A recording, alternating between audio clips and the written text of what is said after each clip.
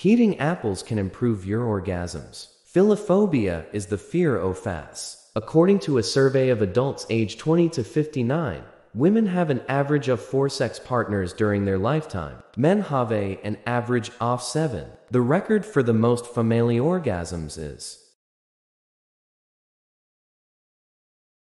134 in one hour. There may be more than one G-spot. The longer a man's ring finger is compared to his index finger, the more testosterone he is. In Australia, 22 of women have had sex with someone out of sympathy. If he finds it hard to stay hard, avoid girl on top as his will be fighting gravity. Most are the same size when erect which is actually 6 to 7 in. Almost all women need below the belt stroking before they're able to have an orgasm, but, but about 1% can hit a high note.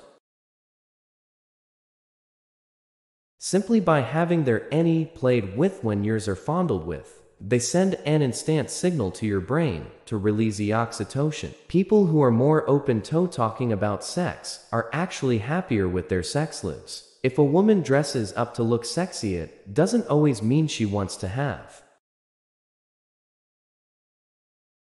Sex the sex sex and self-esteem streethist to sides. People who have sex feel good about themselves, and people have a sex to feel good about themselves. Having sex frequently increases the quality of a man's perm. The French are the nation with the biggest average reported size at 6.2.